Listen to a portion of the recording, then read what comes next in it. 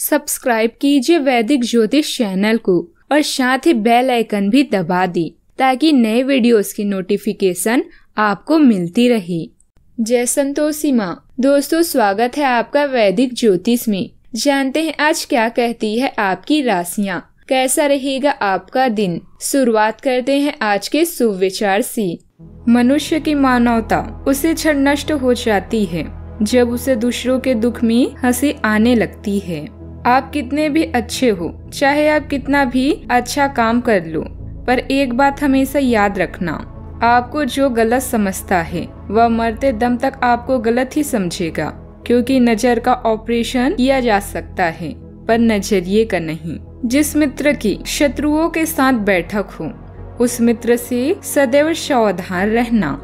आज का पंचांग 5 सितंबर 2022 दिन सोमवार। भाद्रपद मास के शुक्ल पक्ष की नौमी तिथि सुबह आठ बजकर अट्ठाईस मिनट तक रहेगी। इसके उपरांत दशमी तिथि प्रारंभ हो जाएगी। मूल नामक नक्षत्र रात्रि आठ बजकर पाँच मिनट तक रहेगी। इसके उपरांत पूर्वाषाढ़ा नामक नक्षत्र प्रारंभ हो जाएगी। आज का राहु काल, अर्थात दिन का सबसे अशुभ समय, सुबह सात बजकर छियालीस मिनट से नौ बजकर उन्नीस मिनट तक रहेगा। आज का अभिजीत मुहूर्त। अर्थात दिन का सबसे शुभ समय, दोपहर बारह बजे से बारह बजकर पचास मिनट तक रहेगा। आज चंद्रमा धनु राशि पर संचार करेगी और आज सूर्य सिंह राशि पर रहेंगे। मेष राशि 5 सितंबर 2022 दिन सोमवार। आज चलते हुए सावधान रहें। हल्की खरोचे आ सकती है।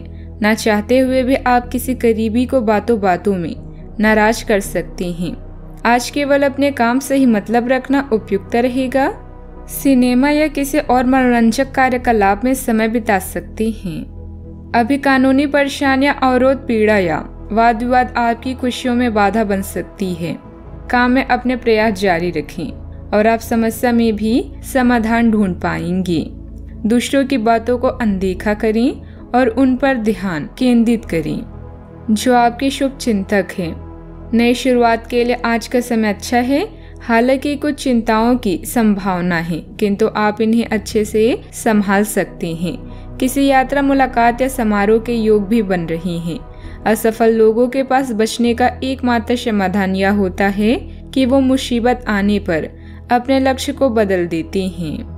स्वास्थ्य का खास ख्याल रखे, नहीं तो लेने के देने पड़ सकते हैं। आर्थिक जीवन की स्थिति आज अच्छी नहीं कही जा सकती। आज आपको बचत करने में मुश्किलें आ सकती है। परिवार के किसी महिला सदस्य की सेहत चिंता की वजह बन सकती है। अपने प्रिय की नाराज़गी के बावजूद अपना प्यार ज़ाहिर करते रहें। अपने बीते दिनों कार्य क्षेत्र में कई काम अधूरे छोड़े हैं, जिसका भुगतान आज आपको करना पड़ सकता है। आज आपका खाली वक्त भी ऑफ़िस के काम को पूरा करने में ही लगेगा। आपकी बीती ज़िंदगी का कोई राज आपकी जीवन साथी को उदास कर सकता है। समय मुफ़्त ज़रूर है, पर बेसकीमती भी है। इसलिए अपने अधूरे कार्यों को निपटाकर आप आने वाले कल के लिए निश्चिंत हो सकते हैं। इस समय कुछ नया शुरू करने के लिए समय पक्ष में है। दिन की शुरुआत में भी अपने महत्वपूर्ण कार्यों की रूपरेखा बना लें। अपने संपर्क सूत्रों तथा मित्रों से मेल मुलाकात लाभदायक रहेगी। विवाह योग्य लोगों के लिए कोई अच्छे रिश्ते से संबंधित बातचीत शुरू हो सकती है। आपकी क्षमता बढ़ती हुई नज़र आ रही है, जिसके कारण कठिन परिस्थिति का सामना करके सफल हो जाएँगी।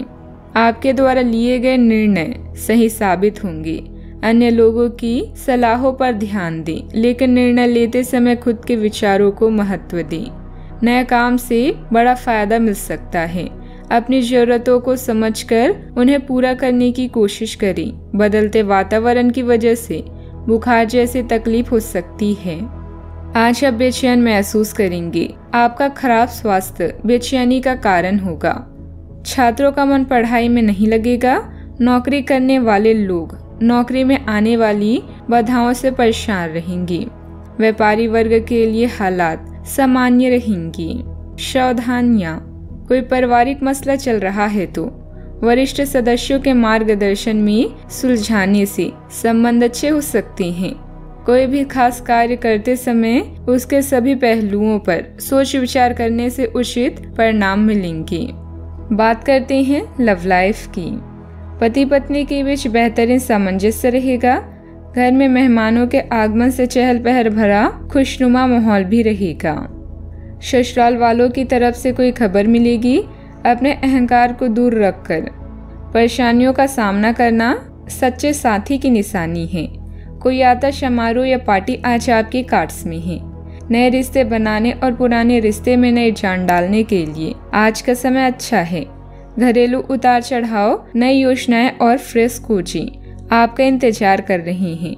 आपकी किस्मत में एक लंबा और प्यार भरा संबंध है। बस जीवन में किसी भी तरह की जल्दबाजी से बचें। आप अपने पार्टनर या अपने संबंध के बारे में चिंतित हो सकते हैं, लेकिन आज से ही स्थिति स्पष्ट होनी शुरू हो जाएगी। बहुत सारे काम और व्यक्तित्व की ऐसी बातें जो आपको पहले समझ नहीं आ रही थी, अब साफ़ होना शुरू हो जाएगी।